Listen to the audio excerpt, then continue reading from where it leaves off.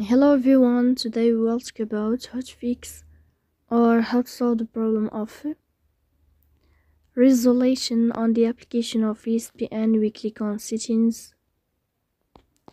In this page we go to apps, default apps, app settings. On above you will search about ESPN and do we click here.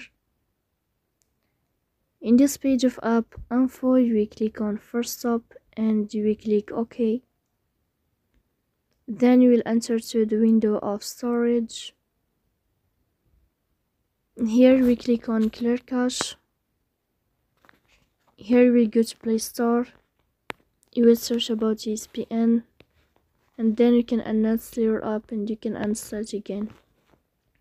So please don't forget to support us by like and subscribe. See you next time in another video.